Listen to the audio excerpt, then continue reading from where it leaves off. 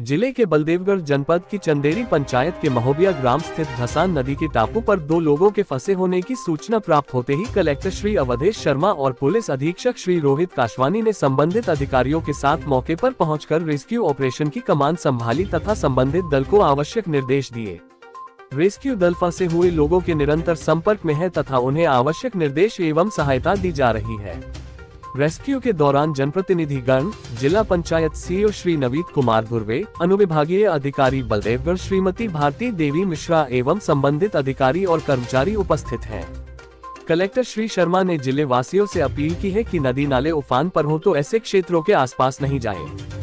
जिला टीकमगढ़ में धसान नदी के टापू पर पर पिछले 24 घंटों से अधिक समय से फंसे दो व्यक्तियों राम मिलन यादव, आयु अड़तीस वर्ष, चरण रैकवार, आयु माइनस अट्ठावन वर्ष को एनडीआरएफ, एसडीआरईएफ, पुलिस प्रशासन के संयुक्त प्रयासों के परिणाम स्वरूप बचा लिया गया है।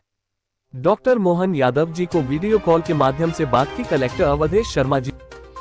जी नमस्कार। रेस्क्यू ऑपरेशन कर लिया सर आप दोनों बात करना चाहेंगे सर धन्यवाद। कोई परेशानी नहीं है आपको आपकी मेहमानी से बाहर आ गए हैं आपकी आपकी टीम ने निकाल लिया हमको सुरक्षित नाम क्या नाम है? राम मिलन यादव। वो रामचंद्र रेकॉर्ड कोई परेशानी तो नहीं है आपको?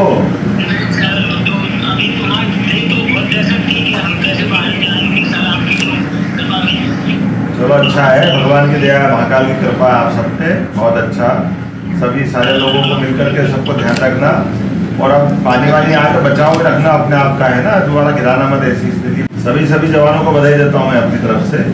जो जितने भी जवान हैं और उनको सबको जो जितने लोग कितने लोग थे रेस्क्यू टीम में?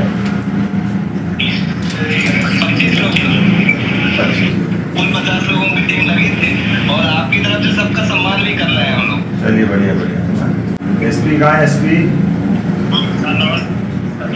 नमस्कार एक काम करना है इनको सबको पुरस्कार देना। ये पूरी टीम है ना? पूरी टीम को सम्मानित कर रहे हैं और पुरस्कार भी सर इसको हाँ।